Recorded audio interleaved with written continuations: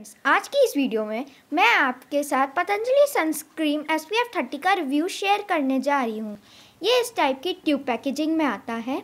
इसका प्राइस है hundred rupees पर फिफ्टी ग्राम्स इसमें ये टाइप के इंग्रेडिएंट्स पाए जाते हैं, जैसे नारियल का तेल, गेहूँ का तेल, मेथी, मंजिस्टा, आम, हल्दी हल्दी और एलोवेरा इसके बेस मटेरियल्स हैं एक्वा डिजोलिडन यूरिया एंड आईपीबीएस कलर और फ्रेग्रेंस तो ये पूरी तरह से आयुर्वेदिक क्रीम नहीं है। ये ये वाइट कलर का होता है और इसका टेक्सचर बहुत स्मूथ होता है, देखिए। इसे आपको दिन में दो बार ही लगाना है।